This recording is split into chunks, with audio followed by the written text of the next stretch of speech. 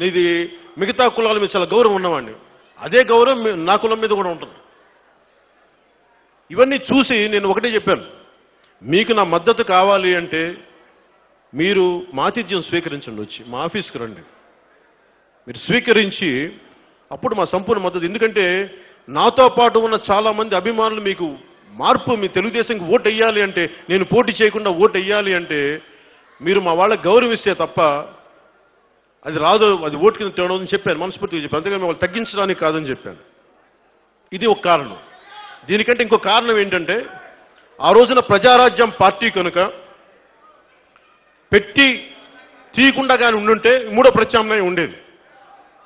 మనము నిలబెట్టుకోలేక అటు మిగతా రెండు అటు కాంగ్రెస్ని కానీ అటు తెలుగుదేశం వాళ్ళని సంపూర్ణంగా చేయని ఒక ఒక చిన్న గందరగోళం ఏర్పడి ఆ తప్పు జరిగినందువల్ల ఒకటే అందరికీ భావన ఉంటుంది. నాకు ఎవరు చెప్పలేదు నాకు అర్థమైంది. మీరు నిలబెట్టుకోలేరు మూడో ప్రత్యామ్నాయాన్ని మమ్మల్ని చేసుకుని ఎవరన్న ఆవేదన నుంచి కోపం ఉంది? ఆ కోపానికి నేను సారీ చెప్పాను. గతంలో మాకు జరిగిన తప్పుకి ఈ రోజు మేము ఏవి బేషరతుగా నేను మీకు సపోర్ట్ చేస్తాను మేము నుంచి ఏం ఆశించను. అందుకు చేశాను తెలుగుదేశాన్ని అందుకేం ఆశించలేదు. ఎందుకంటే మనము నిలబెట్టుకోలేనప్పుడు ఇంకొకరిని చేయనివ్వనప్పుడు తప్పు అవుతుంది ప్రజాస్వామ్యం.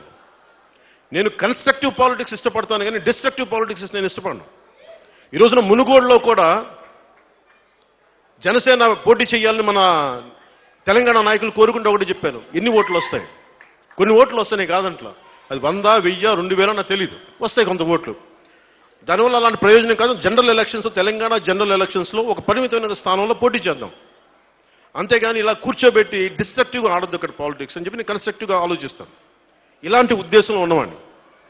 ఇలాంటి ఉద్దేశంలో ఉంటే తెలుగుదేశం మా తెలుగుదేశాన్ని కొమ్ము కాస్తాం అది ఇది మాట్లాడుతుంది.